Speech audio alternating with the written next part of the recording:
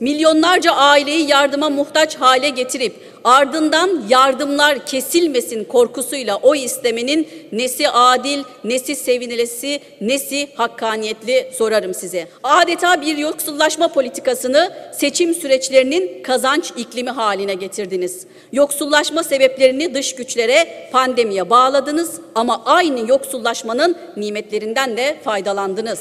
Milleti ya bunlar giderse ve yardımlar kesilirse travmasına soktunuz. Servet transferlerinin hepimizin gözlerinin önünde yasal güvencelerle gerçekleşti.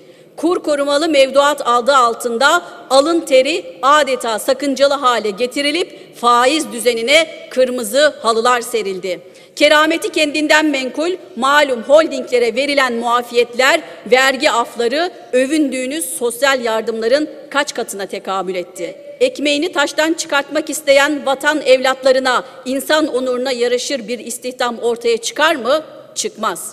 Bu iklimden sadece yoksullar ordusuna yazılmayı bekleyen fertler yetişir. Sizler de ancak bu rakamlardan dolayı kendinizi sigaya çekmek yerine çıkıp övünürsünüz. Tarlada çiftçinin, mutfakta annelerin yüzü gülmedikçe, babalar akşamları evlerine başı dik girmedikçe bize rahat ve huzur yoktur.